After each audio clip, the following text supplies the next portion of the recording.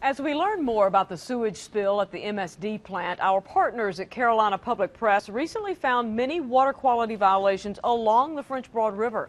News 13's Mario Boone joins us with more in tonight's reality check. And Mario, who's responsible for these violations? Well, the Department of Environment and Natural Resources has fined several businesses, local governments, even schools for polluting the river.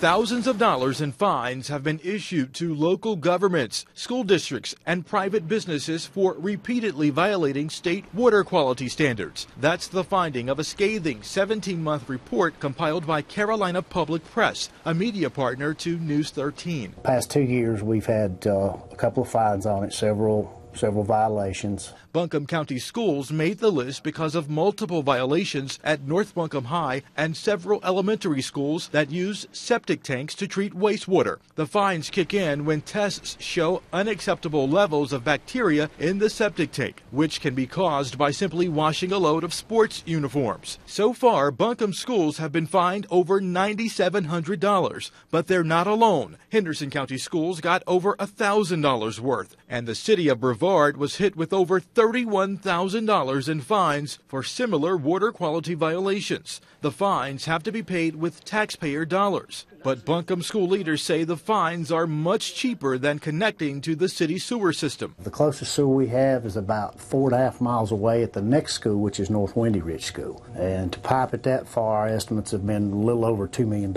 So they opted for a cheaper fix, expanding the current septic system at North Buncombe High.